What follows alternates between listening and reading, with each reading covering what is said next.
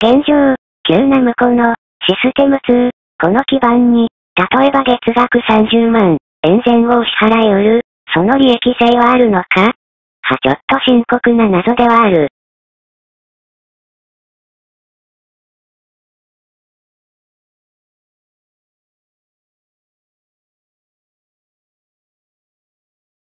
このボードが平成の時代、その土台になってしまった部分があるようで、ここで少しそのバグが補正されたか？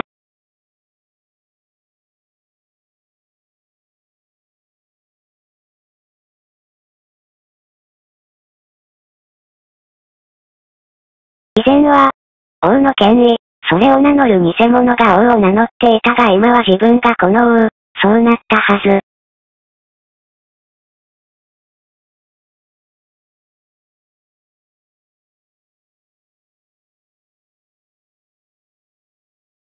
自分の発表済み創作を土台にした世界、そこから、王は給金をもらう。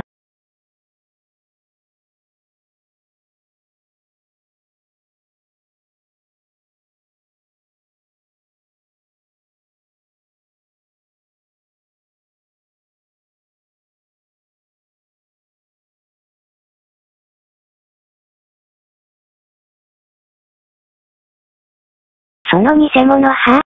概念上は、このボードの外に追い出された。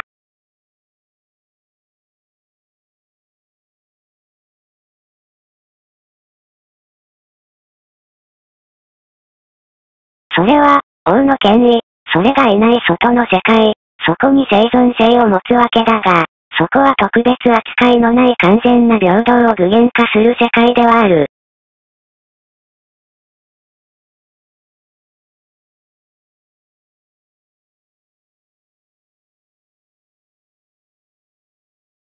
そこで偽物は、生存しうるか？というのに、疑問は重い。